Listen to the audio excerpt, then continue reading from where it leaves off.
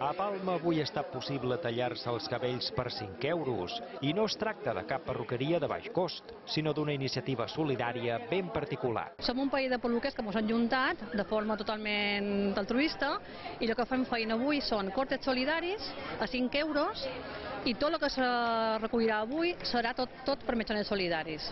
Els clients i les clientes no s'ho han pensat dues vegades i és que l'objectiu de la iniciativa ben val un bon escalat de cabells. Un escalado. Lo mismo, pero un poquito más corto. Quitarme, como que dicen, por lo que sobra. Por tres motivos. Me cortan el pelo, me sale económico y ayuda a los demás. Pues sí, pero vuelve a crecer. Sí, hay gente que lo necesita más que yo. Els flocs dels cabells tallats serviran per elaborar perruques oncològiques que els malalts de càncer podran adquirir a un preu molt inferior al de mercat. Una passada. O sigui, la gent se tira totalment eh, a col·laborar. Sí. Uh, o sigui, hi ha molta consciència i més ara encara que per desgràcia pues, tothom a la nostra família sempre tenim a qualcú que, que pateix aquesta enfermedad. Aquesta iniciativa s'ha desenvolupat a la vegada a 12 ciutats espanyoles. A Palma, el carrer Jaume III ha estat l'epicentre de la jornada. D'aquestes mans han sortit ja més 3.000 coixins com aquests. Elles són membres d'un dels grups que formen part de l'associació balear de Patchwork.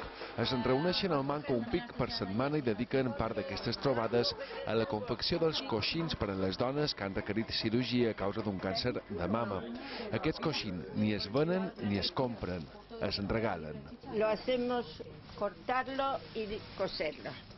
A la sesión siguiente, que es esta, lo rellenamos y lo embalamos, ponemos unas tarjetitas que nosotros hacemos especialmente para cada una de las pacientes.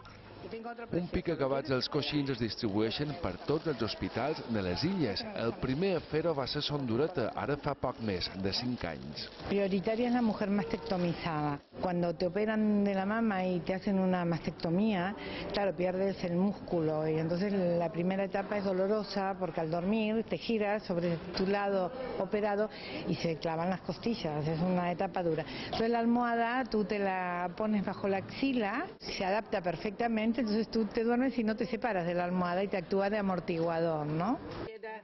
Nemiki va importar el patró d'aquest coixí que va crear l'any 2001 una familiar d'una infermera nord-americana.